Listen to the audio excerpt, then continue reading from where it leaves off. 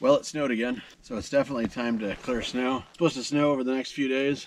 We've got about four inches so far over the last night. Gotta do some snow shoveling and then get the snow thrower out. And we'll hope that it works.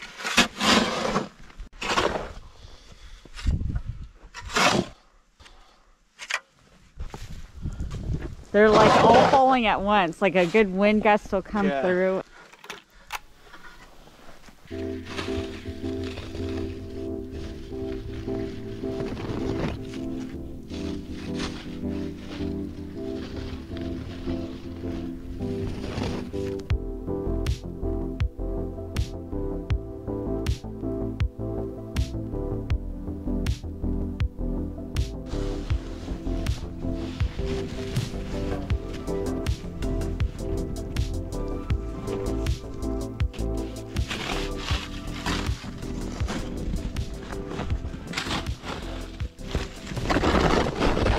Clearing out the roof of the shed has taken me a solid hour. Um, it's wet, heavy snow mixed with like freezing rain, so there's probably a foot, over a foot of snow accumulated on here. So I'm glad I got it cleared off. It's finally stopped snowing today. It's been snowing, I think, for the past five days.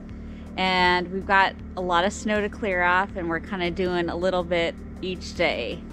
But uh, I want to measure how much we got. I think we're supposed to get another six inches in the next several days.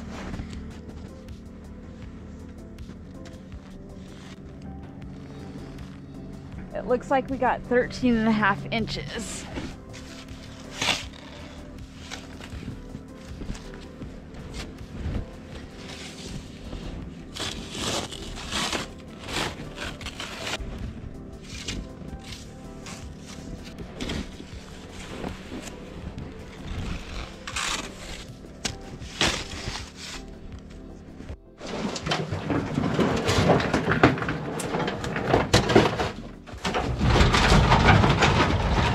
So you're having to do this why? why do you I can't start this by the pull cord why? because it won't go. That's why I gotta overhaul this completely. Okay, okay. So what I'm gonna do I, I checked out a bunch of books for the library Yeah, for that. so what I'm gonna do is start this up and plug this in an electric starter because this has an electric starter. Okay.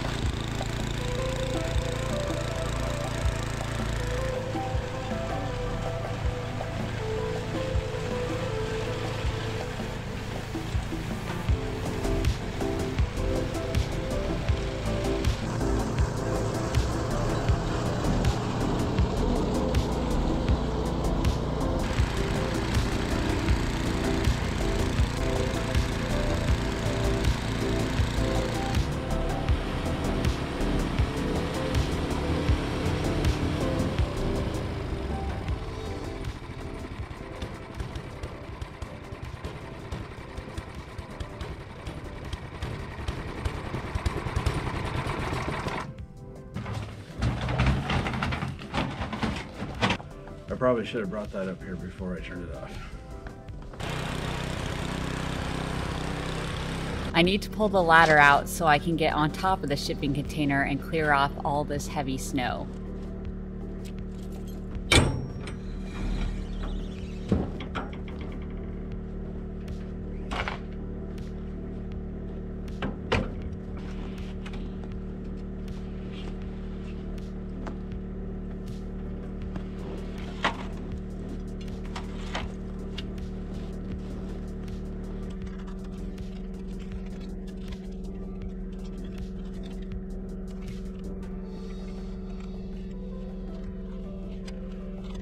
We learned why we clean off our shipping container during these heavy snows. Last year we didn't clear it off at all and we noticed that it started to concave and bow in the middle part inward. And the more we thought about it, it made sense because shipping containers on the perimeters are really strong, heavy steel. The top of these shipping containers are not designed to sustain a heavy load on them as far as weight goes. So this year we are cleaning it off as the snow happens. And it looks like we have over a foot up here going on.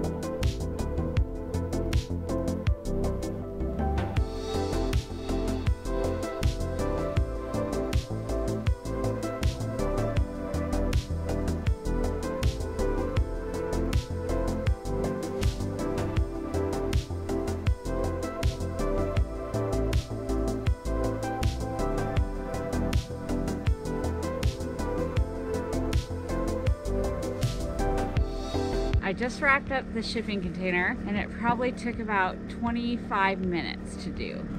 So I'm gonna stand in the middle and can you see me bouncing here? The reason it's so bouncy is this, you know, structure is 40 feet long and there's nothing, you know, no mid-line structure whatsoever. It's got a lot of give right here. So we try to keep this cleared off to make this last as long as possible.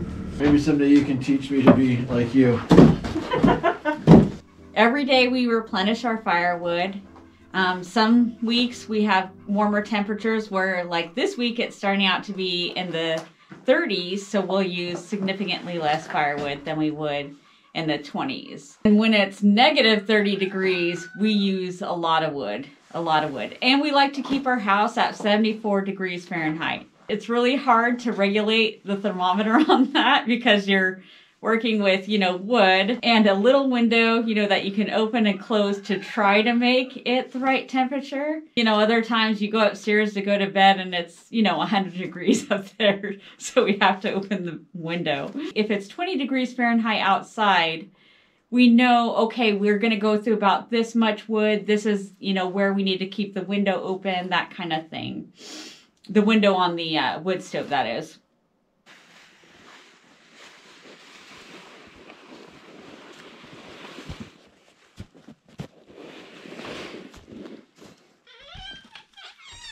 You just increased my health? That's amazing. Broken stuff.